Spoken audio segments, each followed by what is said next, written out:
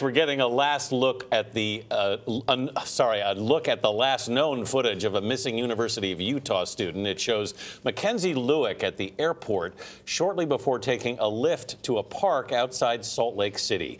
Jonathan Vigliotti is at the park in North Salt Lake. Jonathan, who met her there?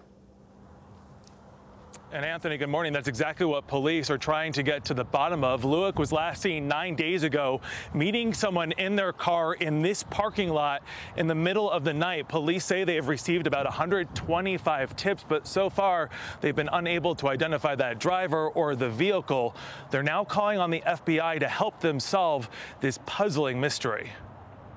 Salt Lake City police are hoping these surveillance photos of Mackenzie Lueck, taken less than an hour before she disappeared, will help bring them closer to finding the 23 year old. Finding Mackenzie remains a very high priority for us. The photos show Lueck arriving at Salt Lake City International Airport shortly after 2 a.m. on Monday, June 17th, after going home to California for a funeral. She's seen wearing black sweatpants and a light colored sweater while carrying two bags and a brown suitcase. From the airport, Lueck took a Lyft ride at about 2:40 a.m. to Hatch Park in North Salt Lake, arriving just before 3 in the morning.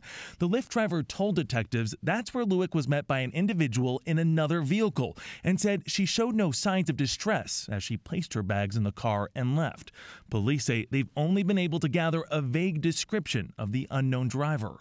It could have been a male or a female. We've exhausted all avenues of determining that information and want to ask this person to please call us. Signs at the park indicate there are surveillance cameras, but it turns out they aren't actually real, instead, acting only as a deterrent for crime.